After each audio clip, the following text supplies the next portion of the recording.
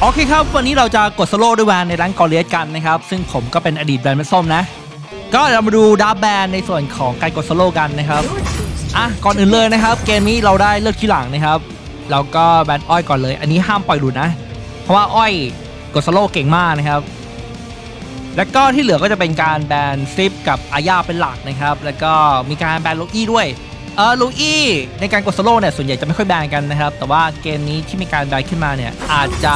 ไม่อยากให้ทีมเล่นมากกว่านะครับส่วนตัวที่เหลือนะครับอย่างดิงก็กิ้งกบเนี่ยอันนี้ก็แล้วแต่คนแบนว่าไม่ชอบตัวอะไรนะครับเขาก็มีการแบนตามปกตินะ แล้วก็เกมนี้เนี่ยเราเจอจ็อกเกอร์นะครับผมก็เปลี่ยนพลังแฝงนิดนึงนะครับเป็นนกกระจิบนะเพราะว่าในช่วงที่จ็อกเกอร์เนี่ยใช้สกิลสองนะครับนกกระจิบมันยิงได้ เวลาเลือดเขาน้อยๆเงี้ยเรา ติดพลังแฝงนี้เรา flicker ตามไปเนี่ยคือมันมีโอกาสได้ kill ไงครับ ก็เลยติดมา แล้วก็มีโอกาสที่จะเจอตัวหนาด้วยเพราะว่าทีมเขาเนี่ยมีการเปิดทาร่านะครับ แล้วก็หยิบนกกระจิบมาเล่น ก็มาดูการแก้ draft ในเกมนี้นะครับ ก็อันนี้มี draft มึนๆนิดนึงตรงที่ว่าเขาเปิดฟอร์เรนขึ้นมานะครับ แต่ว่าทางทีมเราเนี่ยมีเปิดยีน่านะ อันนี้ก็ถือว่าเป็น draft เสียเปรียบนะครับ แต่ถ้าหามั่นใจก็เล่นได้ แล้วก็การแก้ draft ให้โฟกัสที่คนที่ 5 เป็นหลักนะครับ ซึ่งคนที่ 5 ในเกมนี้ของแต่ละทีมเนี่ยทางทาร่ามีการหยิบขึ้นมาแก้แวนแล้วก็ยูเอะนะครับ ซึ่งเออทาร่าเนี่ยค่อนข้างชนะ 2 ตัวนี้นะ แล้วก็ซิลถูกหยิบมาแก้จ็อกเกอร์นะครับ แล้วก็แก้บิจานด้วยนะครับ เพราะบิจานเนี่ยมันค่อนข้างที่จะเก่งกับตัวกายภาพนะครับ เพราะบิจานได้เกราะกายภาพ แต่ว่าจะค่อนข้างอ่อนแอเวลาเจอ damage เวทนะครับ ก็ถือว่าทั้งสองทีมแก้ draft ดีทั้งคู่เลย แต่ว่าซิลทีมเราแก้ draft ดีกว่านะครับค่อนข้างได้เปรียบกว่าเพราะทีมเขาเนี่ยตัวขาตายเยอะนะครับ ก็จะมีตัวที่เออไม่ขาตายก็จะมีแค่ทางลิเลียแค่นั้นเองนะครับ แล้วก็ในเกมนี้มีคนติด Glorious ามคนนะครับนั่นก็คือผมนะครับ แล้วก็ยูเอแล้วก็อีกฝั่งหนึ่งก็จะเป็นลิเลียนะ ถ้าถามว่าไอทีมตัวไหนที่น่ากลัวสุดเอ่อผมคิดว่าฟอร์เรนเกมนี้น่ากลัวสุดถ้าได้ไปชิดตัว เพราะว่าฟอร์เรนถ้ารีบออกของกันเวทขึ้นมาเนี่ย อันนี้ก็ไม่ค่อยกลัวซิลสักเท่าไหร่นะครับ แล้วก็ไม่แพ้แก๊กด้วย แล้วก็ถ้าหากไหลเข้าผมได้ ผมก็อาจจะตายก็ได้นะครับ เพราะว่าเดี๋ยวก็อาจจะมีการออก item แก้ทั้งโจ๊กแล้วก็ฟอร์เรนขึ้นมานะครับอะเดี๋ยวดูเกมนี้กันเริ่มเลยครับก่อนจะเข้าสู่เนื้อหาผมขอแนะนำวิธีการเติมเกมที่ปลอดภัยที่สุดในตอนนี้เลยนะครับ เริ่มแรกกดที่หน้าโปรไฟล์ของเรา แล้วกดตรงรูปเฟืองเล็กๆแล้วให้กดที่ Open ID จากนั้นให้กดคัลโลแล้วก็จะได้ ID ที่ใช้เติมเกมนะครับ จากนั้นก็ทักแชทเพจ24 by M พิมพ์คำว่า RV นะครับ จากนั้นก็วาง Open ID แล้วชำระเงินตามรายละเอียดได้เลยครับ หลังจากชำระเงินแล้วเนี่ยรอแป๊บหนึงครับคูปองก็จะเข้าสู่ ID ทันที ซึ่งเพจนี้เนี่ยบอกเลยว่าปลอดภัยและคุ้มมากเลยครับหากใครลังมองหา ID LV คุ้มๆพร้อมเล่นลุนครบกีฬาสวยๆแนะนำเพจนี้เลยนะครับ e m i n t o n TP7 เพจนี้เนี่ยมีผู้ติดตามมากถึง1นึ่งแสนเจ็ดหมื่นคนเลยนะครับ ที่นี่ก็จะมีบริการรับซื้อและขายรหัสเกม RV ราคาถูก ราคาเริ่มต้นเนี่ยอยู่ที่ 30 บาทเท่านั้นเองนะครับ สามารถดูลิงก์เพจใต้คลิปได้เลยครับโอเคมาเกมแล้วนะครับก็ในส่วนของพลังแฝงที่ใช้ในเกมนี้ก็ตามหน้าจอนี้เลยนะครับแล้วก็ในส่วนของรูนเนี่ยก็จะเป็นตามเซตนี้เลยนะครับในเกมนี้เราเลือกที่จะใช้รูนตีไว้ขึ้นมานะครับเพื่อให้นกกระจิบเนี่ยใช้งานได้เต็มประสิทธิภาพนะครับ เพราะว่าเกมนี้ตัวเขาหนามากเลยเกมนี้เราก็ชนเลนกับโจ๊กเกอร์นะครับ อันนี้ทาร่าทักขุมมานะ แต่ว่าใกล้จะ fight แล้วนะครับ อันนี้ก็ไม่ได้พิมพ์ตอบ อันนี้ขอโทษด้วยนะครับอะก็สิ่งที่ระวังในช่วง lane phase กับโจ๊กเกอร์นะครับ คือโจ๊กเกอร์สิ่งที่ผมไม่ชอบคือสกิลสองเพราะงั้นเวลาจะสู้เขาเนี่ยก็พยายามหาเรื่องตัดต่อไปนะครับ แล้วก็พยายามอ่านให้ออกด้วยว่าเขาจะใช้สกิลสองตอนไหน ตอนนี้เราสองก่อนเขาก็ไล่กดดันเลยนะครับ ตอนนี้เขาก็จะสองส่วนครับแล้วก็ดึงเชิงถอยมาหน่อยนะครับตรงนี้ โอ้ยโจ๊กไม่แตก เสียฟิตทั้งคู่ครับตรงนี้ทาร่าอยู่ตรงกลางนะตะกี้โจ๊กเลือดน้อยมากเลยนะครับเขาน่าจะกลับบ้านแล้วนะรีบเคลียร์นะครับตรงนี้อ้าวแล้วโจ๊กไม่กลับครับแก๊กกำลังจะขึ้นมาด้วยรอแก๊กนิดนึงครับตรงนี้ โอ้ทาร่ามาก่อนโหแตกเลยโอ้โห อะอธิบายช็อตตะกี้นิดนึงนะครับช็อตตะกี้เนี่ยคือเราล็อกแก๊กนะซึ่งถ้าหากแก๊กมาทันนะครับ แล้วก็จะได้ป้อมเลย พอได้ป้อมได้ปุ๊บก็จะได้ first blood นะครับ แต่ว่านี่มาไม่ทันกันก็เสีย first blood ให้เขาไป แล้วก็ส่วนผมก็ซ่าด้วยอ่าแล้วก็สิ่งสำคัญของเอ่อช่วงต้นเกมนะครับ คือต้องระวังไม่ให้ทาร่าเนี่ยกระโดดใส่เรานะถ้าหากคาร่ากระโดดใส่เราแล้วกดวิ่งเนี่ยโอ้โหนี่เราตีเขาไม่เข้าเลยนะแล้วตรงนี้ไว้นะครับ อันนี้ก็โอ้โหบิจานครับ พาฟอร์เรนมา โอ้ ตรงนี้ครับยังรอดกันได้ยักเลือดน้อยนะยีน่าเอาปิดแล้วนะครับ An How ally many? has been defeated. โอ้โหแล้วฟอร์เรนโอ้โหเรียบร้อยกันทุกไม่คิวเลย โอ้เถื่อนเกินฟอร์เรนนี่อยู่ในแก๊งพวกนักแข่งเวียดนามนะครับ เล่นออฟเลนดีมากเลย ตรงนี้เดี๋ยวคลิปไปชนนะครับ ยกเลิกวาร์ปก่อนอะตรงนี้วาร์ปจริงแล้วครับโจ๊กเกอร์เงินพันหกนะ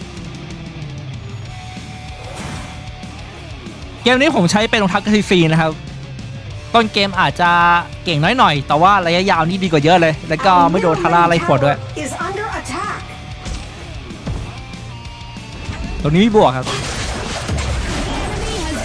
โอ้ลิเลียเกือบตายแต่ไม่ตาย ตัวนี้ยังได้ได้ครับ เขาเข้ามาลึกมากเลยฟิกเกอร์เรามี โอเคครับ ได้คิวแรกแล้วคลิปเข้านะครับ เอาคลิปก่อน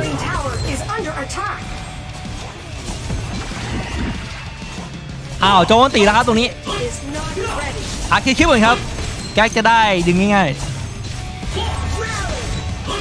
ไปครับแก๊กลุยเฮ้ย ไม่โดนครับตัวนี้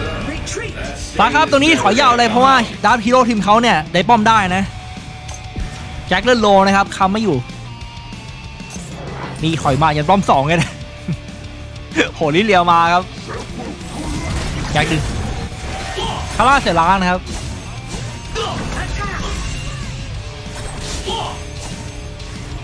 ต้นเกมนี่เอาไม่ลงจริงนะเนี่ย Has อึดมากเลยต้องรีบขึ้นทารอนนะครับ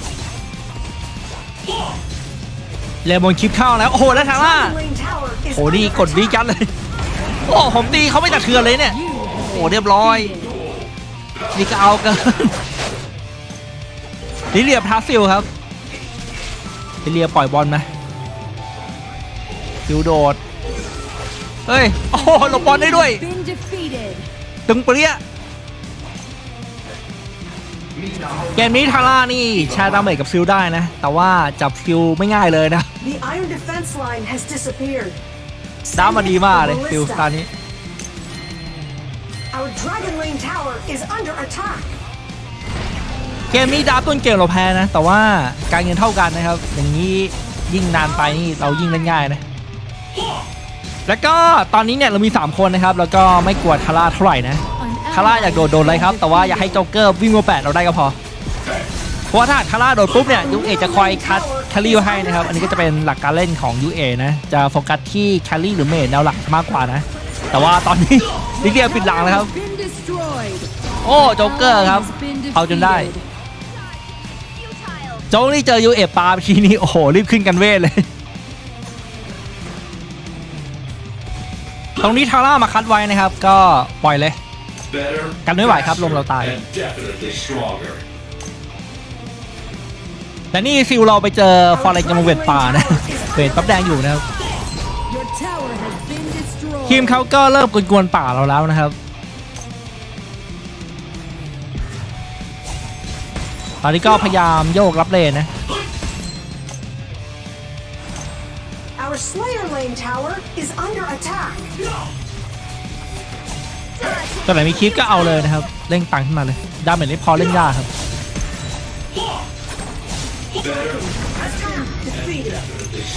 ตรงนี้ฟิลไปเอามังกรให้นะครับ เยี่ยมเลย อย่างนี้ฟาร์มไว้ขึ้นเยอะเลย เวลาเกมตามให้มองหานะครับว่าตรงไหนมี creep นะครับ อยู่ใกล้เราที่สุดก็ไป tag ตรงนั้นนะ อย่างมี creep ป่าก็เข้าไปตีไป tag นะครับ แต่ว่าโฟกัสเลนเป็นหลักนะ อะตอนนี้ก็ได้เวลาสอบเดนแล้วครับ ตอนนี้ทีมเขาก็เริ่มทยอยขึ้นกันเวทขึ้นมานะ พยายามเหลือบมอง minimap ตลอดนะครับ ตะกี้เห็นตรงกลางสองนะครับ แต่นี่แกครับดึงโจ๊กเกอร์ให้ได้ อย่าเดินทางซ้ายมากนะนะครับ เวลาเขามาก็เดินหลบมาทางขวานะโหตัวนี้ครับเรียบร้อยต่อยเพลินแล้วตัวนี้ โอเคครับไปคิวไม่ได้ครับ ตอนนี้เปลี่ยนตั้งค่ายหนึ่งครับตะกี้เหมือนจะตีรัวๆนิดนึงเพราะได้ทารอนนี่โอ้โหเลือดเด้ง An น่าเกลียด enemy เนี่ย has been defeated. ถึงนี้ตีเก็บสแตักนิดนึงครับ เดี๋ยวไปตีป้อมกัน Your team has destroyed a tower. เอาทีมเราเลิกตีเลยแป๊บตีป้อมนิดเดียวเองทาร่าลงมานะครับ ทาร่าตอนนี้ไม่น่ากลัวเท่าไหร่ไม่มีวิกแถมออกกันเวทด้วย โอ้โห แก๊กดึงดักเรียบร้อย โอ้ เอาเรื่องเกินอ่าตรงนี้วิเคราะห์ item นิดนึงนะครับทาร่าเกมนี้นี่ออก item พันนิดนึงนะครับตรงที่ว่าเขาไปออกกันเวทก่อน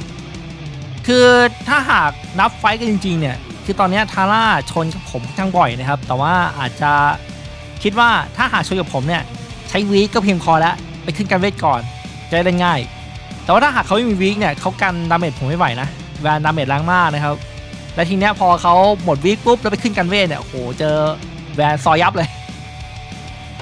Slayer has been defeated. ในเกมนี้ชิ้นต่อไปของเราเนี่ยก็จะขึ้นเป็นเอ่อดาบฟ้าขึ้นมานะครับ หรือมอนิสตาร์นะ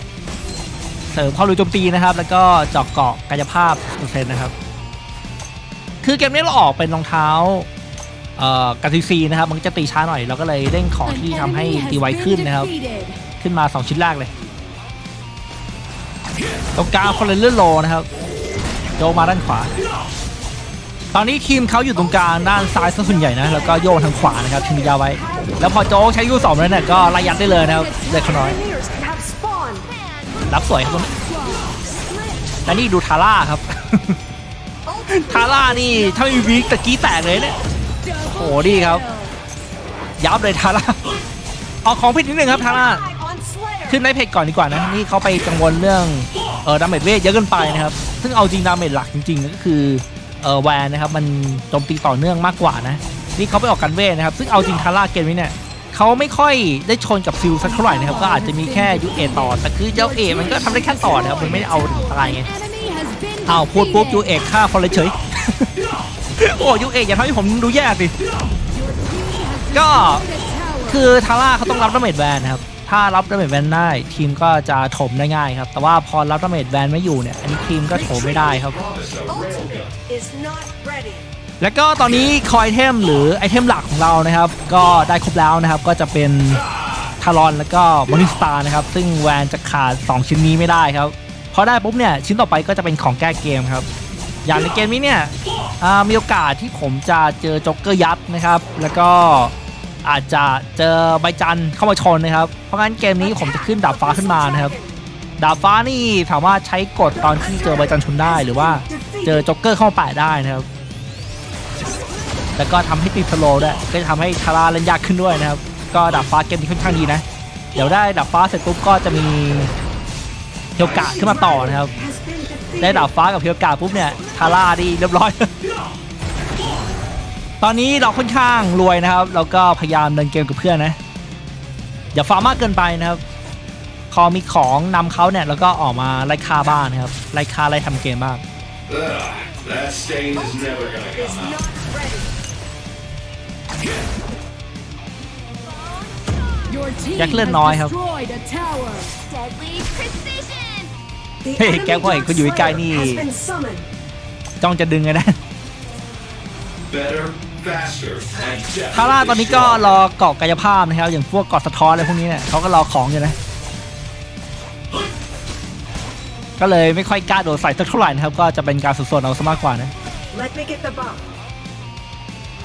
Retreat. ตรงนี้รอเคลียร์ดาร์ทดีกว่าครับ That stain ไม่ต้อง is ขึ้นไป never สูงมาก gonna รอ come ผมได้วับแดงด้วย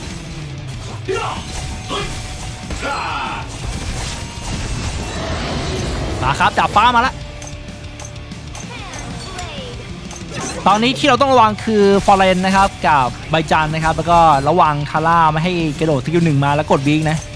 ระวังแค่นี้นะครับฟอร์เรนนี่ตะกี้อยู่ทางเลนล่างนะครับหรือขวามือนั่นเองนะครับ แล้วก็อ้อมมาตั้งพื้นที่ด้านซ้ายนะ Dominating. ทาร่านี่เราต้องเห็นไม่อยู่ครับใบจันมาแล้ว นี่เขาเข้าสวยมากเลยนะครับ เข้าทียูเอแตกกันนะ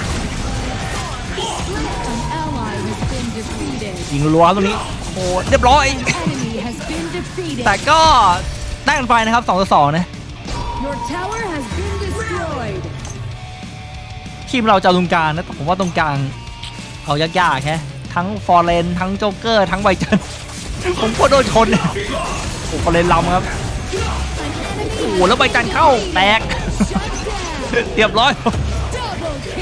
โอ้แต่ซิลเอให้ครับ สวยอะไรงี้ ถ้าจะเอาตรงนี้ได้อย่างน้อยผมต้องมี flick นะ หรือไม่งั้นก็ยีน่าต้องคอยรับใบจันให้นะครับ แต่ว่ายีน่าเขาก็แพ้ฟอร์เรนอะ ฟอร์เรนลำมาทีนี่ยีน่ากระเจิมเลยโอ้แล้วซิลครับ โดดสวนเลยเหรอโอ้ตึงเกิน แล้วยังอึดโอ้สองหนึ่งครับไม่ถือว่ารุมครับเมื่อกี้ แต่ว่าตรงนี้เก็บ stack ป่าครับ เกมนี้เขาใช้เป็นอาโกนี่นะครับ ผมไม่เคยเล่นแฮะฟิลป่าใช้อาโกนี่ แต่ดูเขาเล่นนี่อื่นมากนะ ไม่ต้องใช้ฟอสการ์ดเลยนะครับฟิลนี่เขาให้สัมปทาน buff แดงเรานะ อยากได้เอาเลยครับ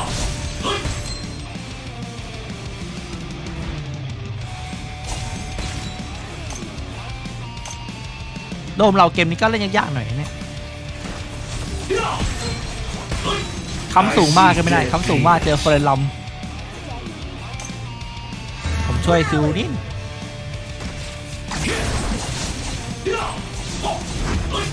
The dragon has been defeated. ทีมเราก็ไปพ้นเปลี่ยนทางดาร์กนะครับ